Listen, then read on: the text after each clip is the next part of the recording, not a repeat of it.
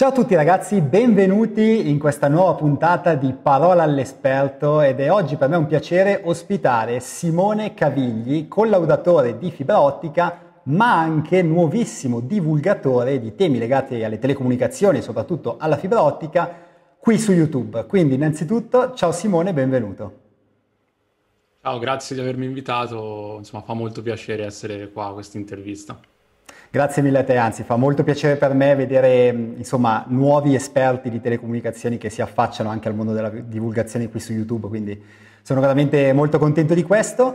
Prima di cominciare, di andare per l'appunto a parlare di fibra ottica e tante altre belle cose, ti chiederei di presentarti un po', di dirci un po' chi sei e di cosa ti occupi. Sì, ah, io sono Simone Cavigli e ho lavorato, insomma lavoro nel mondo delle telecomunicazioni da circa 9-10 anni ho iniziato per circa sette anni lavorando in un subappalto, quindi proprio addetti ai lavori, occupandomi come assistente tecnico di seguire diciamo, chi posa eh, cavi in fibra ottica e chi effettua le giunzioni, quindi tecnici giuntisti, a cui organizzavo il lavoro e lo seguivo. E poi mi occupavo nella stessa azienda anche di collaudi di impianti in fibra ottica, quindi per la verifica della qualità di impianti e la certificazione verso i clienti finali, che potevano essere Fastweb, Telecom, eccetera. E, da circa due anni poi mi occupo anche di formazione per un'azienda che si chiama Fibernet di Roma, di Formello precisamente, eh, che è un'azienda che produce sia elementi ottici per le telecomunicazioni, cavi eh, o comunque tutto quello che è utile per eh, effettuare le lavorazioni, ma anche ha un'academy e quindi insieme a loro, ai formatori che sono già presenti, mi occupo eh, saltuariamente di, di, aiutarli insomma, per i corsi di formazione riguardanti gli strumenti di, di, collaudo.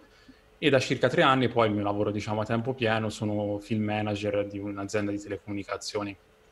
Ok, ok, bene, bene, bene. Quindi un'ottima esperienza già nel, nel settore. E oggi con te parliamo, come detto, di fibra ottica e in particolare di un aspetto eh, molto interessante secondo me che non è soprattutto, ecco, magari noto a tutti, ossia la cosiddetta qualità della fibra ottica. Quindi innanzitutto io ti chiedo sì. che cos'è la qualità della fibra ottica? Sì, ah, diciamo partiamo dal presupposto nel dire che mh, la fibra ottica ormai saranno una trentina d'anni più o meno che, che viene utilizzata nelle telecomunicazioni e agli inizi veniva utilizzata per le reti di trasporto, quindi per i collegamenti lunga distanza tra le varie città, le varie centrali, esempio Roma, Milano, eccetera adesso ormai negli ultimi anni viene sempre più spesso utilizzata anche nelle reti di accesso, eh, quindi nella parte proprio che collega i cittadini, proprio gli utenti finali, che possiamo essere anche noi due, quelle reti appunto FTTH. Speriamo, io non ancora, sì, ma speriamo. sì. sì, anch'io lo stesso, non ancora, però ci crediamo.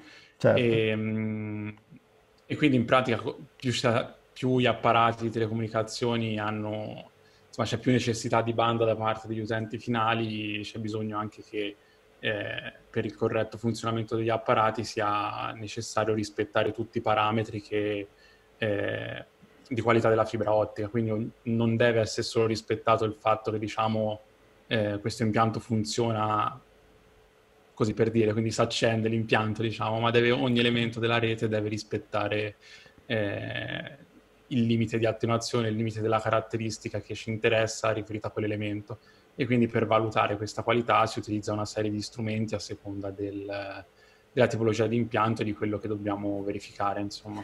Ok, infatti nel corso di questa intervista andremo proprio a vedere quali sono tutti questi elementi, quali sono anche un po' le, diciamo, i parametri ecco, che dobbiamo tenere conto, sì. eccetera ma la prima cosa ecco, che, che, vorrei capire è che cosa si usa poi effettivamente per misurare questi parametri sì. e per valutare quindi la qualità di questi apparati.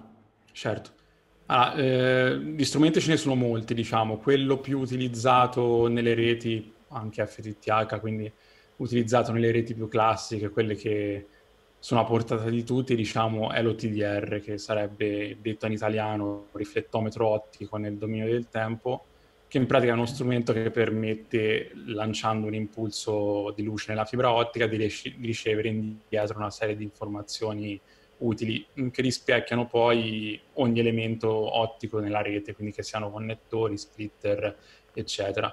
Diciamo, poi lo vedremo anche dopo nei grafici, nell'asse delle X eh, ehm, scusami, nell'asse dell'Y a IDB, quindi diciamo proprio il, l'unità di misura che riguarda l'attenuazione nella fibra ottica, nell'asse delle, delle X ha eh, la distanza, quindi ha la possibilità di identificare, esempio, a un chilometro un elemento ottico, che ovviamente ci torna comodo sia per sapere cosa c'è a un chilometro, se è un problema, se è qualcosa che avevamo previsto, e ovviamente che perdita ha, quindi che attenuazione ha o anche altre caratteristiche che vediamo poi, insomma.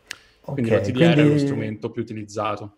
Ok, quindi effettivamente è come se mandassimo una sorta di mh, segnale di test okay, all'interno della rete in fibra sì, sì. e questo ci permette di capire che cosa c'è e soprattutto che livello certo. di qualità hanno i diversi, sì. okay, i diversi pa- ehm, apparati che troviamo. Ecco, quindi a proposito di questo, quali sono gli apparati che possiamo trovare all'interno della rete? Magari facciamo certo. una sorta di elenco iniziale per capire quali sono e poi a cosa servono e che caratteristiche devono avere. Certo.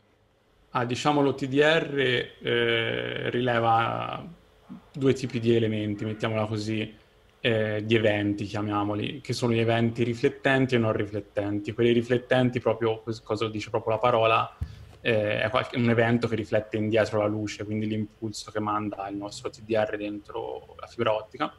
Eh, non riflettenti, quelli insomma che non rimandano indietro ehm, la luce e questa caratteristica di mandare indietro e non permette appunto di riconoscere eh, l'elemento eh, nella rete. Di base gli elementi sono pochi, sono i connettori, quindi come se fossero i connettori LAN, quindi dove noi abbiamo bisogno di avere un qualcosa da staccare, attaccare eh, a nostro piacimento, viene messo un connettore che è molto facile, stacchi, attacchi e, e cambi destinazione insomma, della fibra ottica. Ok, quindi c'è una sorta di attacco facilitato della certo. fibra. Okay. Sì, sì, sì, molto semplice, proprio come un RG45, appunto come il modem. Ehm, e poi ci sono eh, no, altri sono eventi non riflettenti che sono le giunzioni a fusione e in pratica sono ehm, diciamo proprio la giunzione a fusione di una fibra ottica, quindi l'unione tra due fibre ottiche, ad esempio quando una bobina di cavo mettiamo 3000, 3000 metri finisce, ovviamente io devo andare a mettere eh, una muffola che è in pratica un box eh, che protegge queste fibre ottiche e all'interno di questa muffola vengono giuntate le varie fibre ottiche e considerando ovviamente che i cavi sono anche magari da 396 eh, è anche una cosa abbastanza complessa capire quale giuntare con quale giuntare perché ovviamente ogni fibra ottica è numerata e quindi ognuna ha un numero, un colore, una riga diversa, è anche difficile distinguerle. In pratica è proprio l'unione tra due fibre ottiche con la giuntatrice a fusione che è uno strumento sempre che, viene usato. Poi un altro elemento sono gli splitter, eh, che sono praticamente dei diramatori ottici, quindi permettono da, dal segnale che passa in una fibra di essere diviso in n fibre, che possono essere da 1 a 2 a 1 a 4, 1 a 8, 1 a 16, 1 a 32, eccetera. E, ehm, e ovviamente okay. ehm, è un elemento che come caratteristica principale è il fatto di introdurre un'attenuazione molto elevata.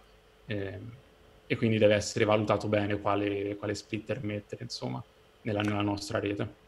Ok, perfetto, perfetto. Abbiamo fatto una bella panoramica ecco, di quello che, che possiamo trovare, delle, diciamo, delle, delle, informazioni che possiamo ricevere da questo TDR.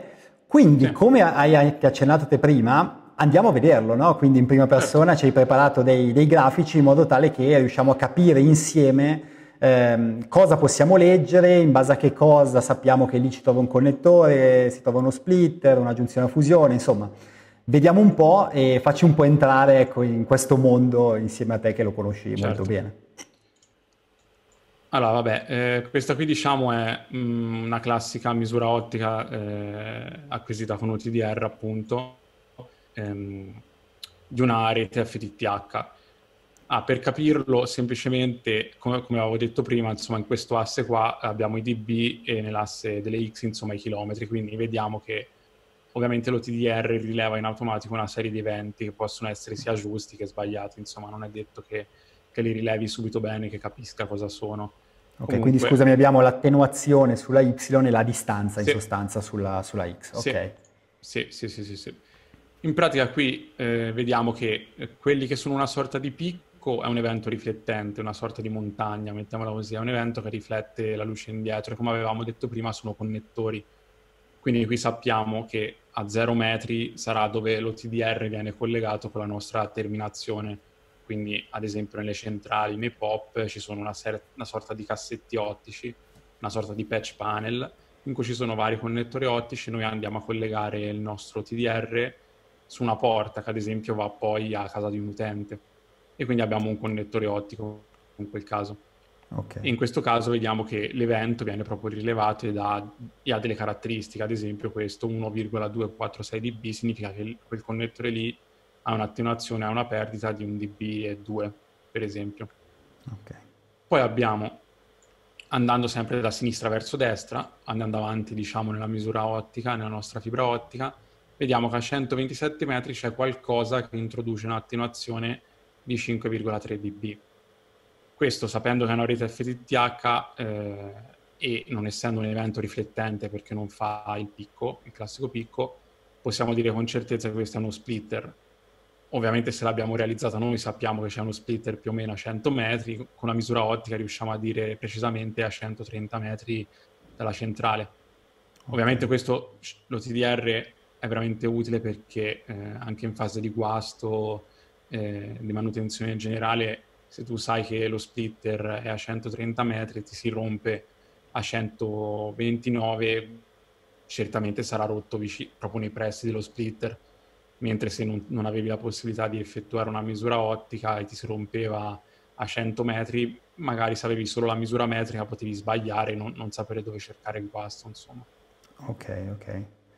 Continuando poi più avanti eh, abbiamo sempre un altro picco, quindi un altro connettore, che in questo caso, poi dopo vedremo cos'è, lo spiego dopo, e anche questo attenua un dB e 2. Poi dopo abbiamo una serie di giunzioni a fusione, che eh, okay. eh, differiscono dallo splitter semplicemente per il fatto che non hanno questa attenuazione qui. Solitamente okay. mh, le giunzioni a fusione si accetta una sorta di mh, attenuazione intorno agli 0,1, quindi questi qui sono anche parecchio, hanno una, una perdita parecchio elevata perché 0,6, 0,5, eh, quindi è una perdita piuttosto elevata. Poi abbiamo un altro connettore a 390 e un altro connettore a 476 e poi la nostra misura ottica diciamo finisce. In pratica okay. sulle reti FTTH misurando dalla nostra centrale, quindi dal nostro punto zero, abbiamo una cosa un po' particolare e che rende anche di difficile caratterizzazione una, mis- una rete in fibra ottica.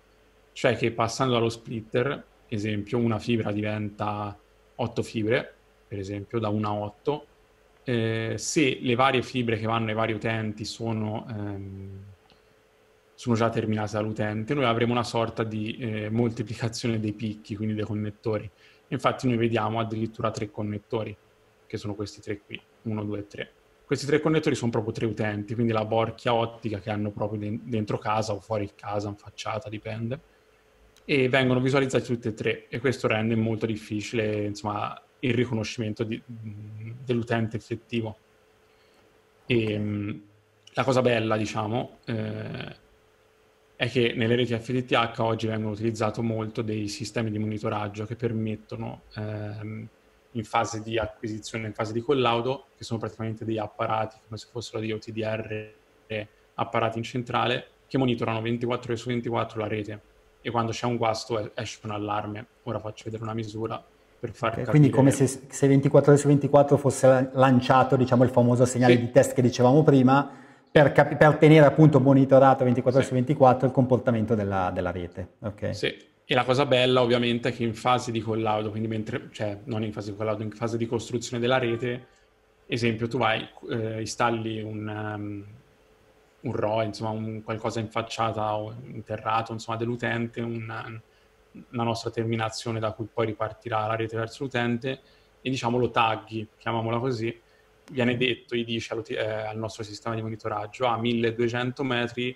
ho l'utente di via Roma 1, a 1326 l'utente Roma 2, quindi mentre costruisci la rete tagli i vari, i vari elementi, i vari picchi. Quindi nel momento in cui ti scompare uno di questi picchi, eh, al nostro, insomma, al, eh, al SOC, al sistema, insomma, eh, al personale che gestisce la manutenzione, eh, insomma, sia mh, riferita alla manutenzione dei, insomma, sia della rete che della FTTH, di tutto, insomma, e, mh, gli arriva questo allarme e ovviamente mandano in tempi anche celeri i tecnici per risolverli. quindi è un, ah, certo. una cosa piuttosto sicura per gli utenti finali questa. Certo, anche perché è come se in un certo senso cercassimo di prevenire, no? Pro- cioè più che prevenire certo. diciamo mi accorgo quasi in contemporanea con l'utente che sì. c'è un problema. Nel, nel caso in cui il, l'utente magari mi chiama e mi dice guarda non mi va la connessione, io dall'altra parte sì, no, lo so lo già. Sai. Eh, esatto, già lo sai, sai. sì sì, perché è immediato, arriva proprio un allarme nei computer ovviamente e, okay. e avverte che il picco in via Roma non, non funziona ad esempio. In questo okay. caso ovviamente se ti scendono tutti i picchi eh, vuol dire che è sempre rotto prima dello, prima dello, splitter, perché se ti si rompe dopo lo splitter, eh, magari hai tre o quattro cavi che partono e va ognuno a un utente diverso, e quindi sarebbero tre o quattro cavi diversi. Se ti, se ti scadono tutti, vuol dire che è rotto o proprio dov'è lo splitter o prima dello splitter, quindi è un problema più serio perché diciamo è nella rete primaria, okay, mettiamolo così. Okay. Ma questi casi in cui il picco diciamo scompare, no? quindi c'è un problema, sì. cioè sono problemi diciamo grossi o sono cose che capitano anche con una certa frequenza? No, no, capitano con una certa frequenza perché okay. diciamo anche proprio parlando di qualità della fibra un problema molto grave è la pulizia dei connettori ottici che anche connettori ottici se non vengono puliti a forza di staccare, attaccare, si portano dietro magari vari detriti. Eh, danneggiano altri connettori, magari si graffiano, eh, fanno una serie di crateri nei connettori e questi proprio si danneggiano talmente tanto che dopo, dopo un certo tot non riescono più a rendere eh, accessibile la rete, quindi crea un guasto. Okay. Di base la, sulla rete FTTH molti guasti vengono causati dai connettori ottici danneggiati, sì. Sì. E, oppure magari qualche utente che cade sopra la fibra, cose di questo tipo, ma solitamente non è molto guastabile come rete. Eh, succede perché capita, però rispetto al rame molto di meno ovviamente. Chiarissimo, chiarissimo, certo, certo. No, è molto, molto interessante insomma i dati che si riescono a tirare fuori da, da questi grafici, sì. soprattutto il discorso del monitoraggio, quello è sicuramente una cosa che anche a livello sì. di, di, di, cliente finale insomma è una cosa che è anche bella da sapere secondo me perché sì. è, un bel, è, un bel, vantaggio, ecco, sapere certo. che dall'altra parte sanno già che c'è un guasto e possono subito intervenire è super super interessante. Ok, certo. dai, allora andiamo verso la conclusione di questa intervista, bandioniamo diciamo, ecco, questi, questi, grafici e appunto abbiamo parlato di elementi posizionati all'interno delle reti, soprattutto appunto delle architetture di rete FTTH, eccetera. Quindi sì. ehm, io ti faccio questa domanda che probabilmente viene spontanea perché la cosa è, noi conosciamo benissimo Flash Fiber e Open Fiber, no? i due diciamo, operatori sì. più famosi a livello di infrastrutture FTTH. Ecco, in base a che cosa questi due operatori decidono di posizionare questi elementi che abbiamo detto? Cioè in base a quali necessità uno magari decide di inserirlo dopo tot chilometri o prima o dopo o splitter più grandi, più piccoli, insomma. Se puoi darci certo. diciamo, una visione un po' d'insieme sul come, su, sui criteri ecco, di posizionamento di questi elementi. Sì.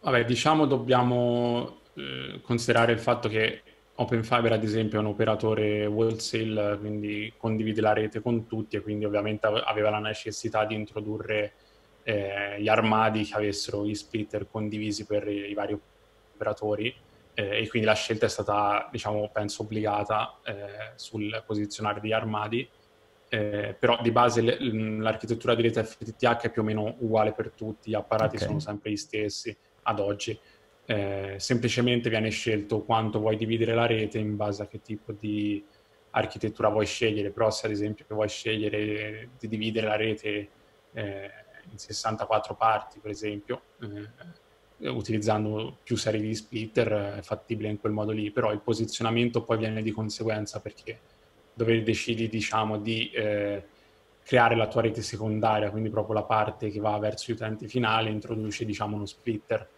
di base, se no dal pop posi, dalla centrale posi cavi dritti finché non decidi che ad esempio eh, sei vicino a tante unità immobiliari e allora dici qui ci metto questo, questo splitter, insomma, e da quel punto lì viene poi diviso per le varie unità immobiliari.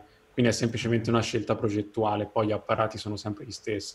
Quindi, ok, ok, quindi è una scelta progettuale sia in base appunto ai clienti che devo raggiungere in quella particolare sì. zona, sia immagino una sorta di trade-off diciamo, tra l'attenuazione e poi quanto certo. cavo effettivamente eh, sto certo. utilizzando, perché ovviamente non penso che uno possa fare certo. distanze, no. tra virgolette, infinite, no? Cioè ci sarà un limite entro cui dico, certo. ah, qua devo sì, mettere perché qualcosa. gli apparati ovviamente hanno un limite, quindi se tu decidi di utilizzare, esempio, supponi che abbia 30, 30 dB di limite, okay. esempio un apparato, proprio un valore casuale, eh, e tu devi, raggiung- devi, raggiungere, metti una città a 20 km dalla centrale, se tu int- introduci due splitter da 16 che ognuno ha una eh, 15 dB, ovviamente non, non, non hai margine per, eh, per riuscire a, a, coprirlo, visto che comunque la fibra ottica attenua, considerando a più o meno attenua, metti 0,21-0,22 km, eh, dB al chilometro, più ogni, ci aggiungi ogni giunzione 0,1, ogni connettore 0,5, capisci che comunque devi capire ogni quanto hai la centrale. Quindi se hai okay. una centrale, ovviamente hai 5 centrali dentro, ti faccio un esempio Arezzo, che è la mia città, se ci metti 5 centrali, la copri tranquillamente perché magari c'è un'area 20 km quadrati, non lo so, una cosa del genere ti basterebbe tranquillamente un pop. Okay. Ovviamente se le città sono grandi come Roma, di centrali ne mettere tantissime. A meno che ovviamente non, non decidi di splittare poco, però meno splitti più spendi, perché okay. ovviamente eh, posi molti più fibra. Ok, chiaro, chiaro. Bello, bello, ok, ottimo anche questo ultimo discorso finale, un po' di trade-off tra tutte le caratteristiche, molto molto interessante. Ok, bene, dai, grazie mille Simone, direi che è stata una chiacchierata molto interessante su questo tema della grazie fibra ottica e siamo andati molto in profondità, ecco, proprio sul, sul campo da gioco ecco, della fibra ottica, vedere proprio come si muovono i vari pezzi.